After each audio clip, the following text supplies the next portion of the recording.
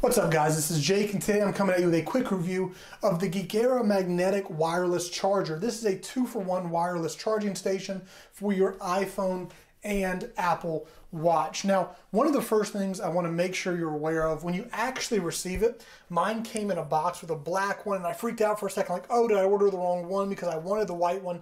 But don't worry, once I opened it, the white one is the one inside. So don't freak out about it by just looking at the box. I saw someone else uh, had the same issue, so I just want to put you at peace before you freak out about that um, because I love the white version of this charging station. So real quickly, let's go over um, just the packaging of it. Then we'll take a look at it in use, and I'll show how it works with both my Apple Watch and my iPhone. So it comes in this right here.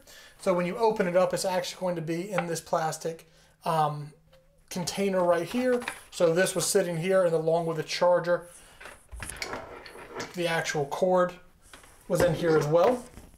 So it all fit into here, was in this plastic piece that you can see underneath. So it was secured very well. And then inside it was also the instruction manual right here. So I want to take a quick look at this. For the most part, it's pretty straightforward, right? You've got your magnetic piece right here, which is where your iPhone is going to go. And then you've got this piece right here, which is where your Apple Watch is going to go. And we'll look at this in a second, but you see this actually pops out. So you can charge your iWatch or your uh, Apple Watch with it sitting down like this or with it around and your watch right here. So that's really cool as well. So one thing I wanted to note from the instructions, um, obviously you can see the product design here, how to use it, we'll take a look at that in a second. But I want to make a note of the indicator light just so you can have an idea. Uh, the indicator light is going to be right here in the front.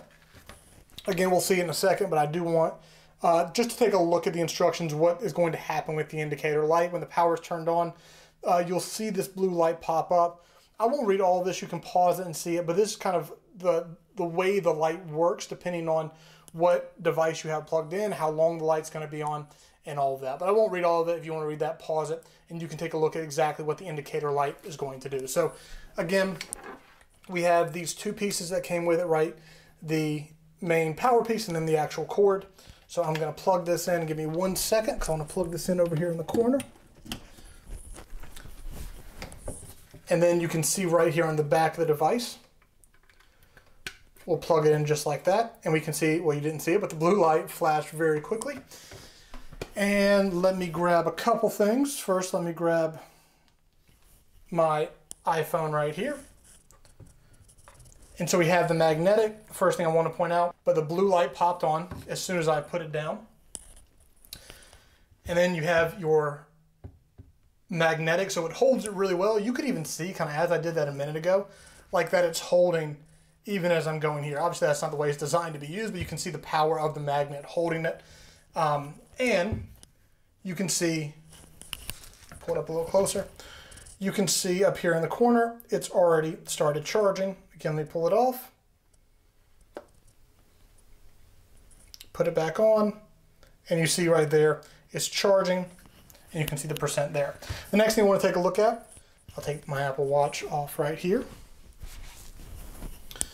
And the first thing, you can put it on straight like that, or you can come here in the bottom, just pop it out, and then put your Apple Watch on like that. So I'm a big fan of this. I think it looks really, really sleek. I like it beside my bed. I think it looks a lot better than just randomly having these two devices charging there.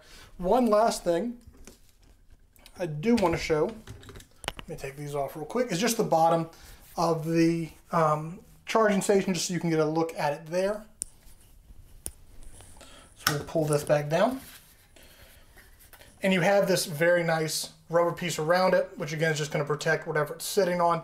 And the last question I saw some people asking about it, one of the most important things when you have a charging station like this is that it doesn't um, overheat, right? That it doesn't overcharge, that it cuts off. So um, you can be confident that this has over current protection, over voltage protection, over temperature protection, short circuit protection, overcharge protection. All of that stuff is super important when you're talking about getting a charging station like this. So if you're looking for a charging station, I do highly recommend checking this one out. This is the one that I'm now using by my bed every night. This is what I'm charging my stuff on every night. Looks really good, works really well. So if you're looking for one, I do highly recommend checking this one out.